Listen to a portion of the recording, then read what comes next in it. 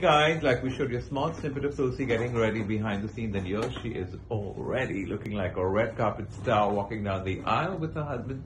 Now it's a reception, and she's wearing this most gorgeous gown.